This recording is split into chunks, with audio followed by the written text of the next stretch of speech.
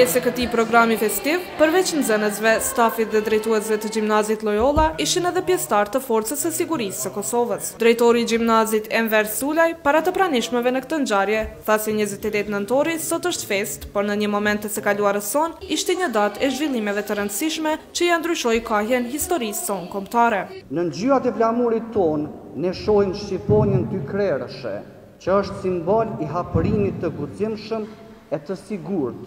drejt së ardhmes dhe ngjyrën e kuqe që simbolizon sakrificën e shenjtë, gjakun e derdhur dhe përpjekjet pa fund për të krijuar vlera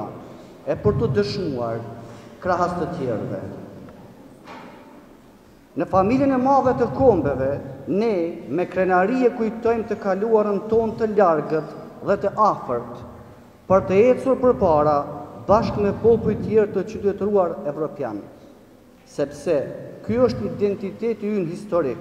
kulturor dhe trualli ku ne u kemi bërë ballë rrebesheve të mijëvjeçarëve.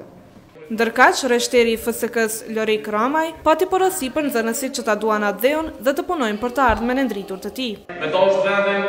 me dashtë atdheun edhe me qenë patriot në mënyrë moderne. Nëse keni me qenë nesër arkitekt, Me qenë arkitekt i zoti, nëse keni me qenë nesër lojtar të një klubi sportiv, me përfaqësu Kosovën në mënyrën ma të mirë të mundshme, nëse keni me qenë mësus, me dhanë maksimumin e juej në mësimdhënie, e tani me pasi pasi që jeni në fazën e mësimnxënies,